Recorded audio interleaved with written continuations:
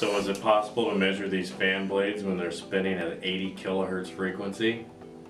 Let's find out.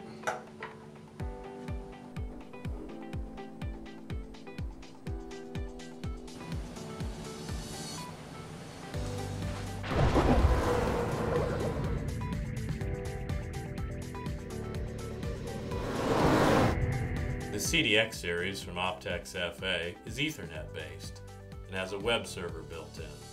First thing you're going to want to do is set the sensor for the fastest speed, which is 12.5 microseconds. Make sure the median filter is turned off and adjust the moving average to 1. After that, you can go into the storage setup, set your quota for whatever value you'd like, and set your rate at 0. Press the test run button and you can see we've measured the fan blades.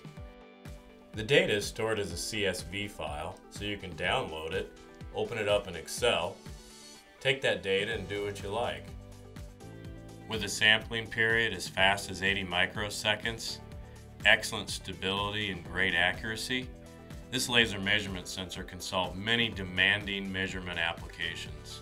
For more information, check us out at optex-ramco.com.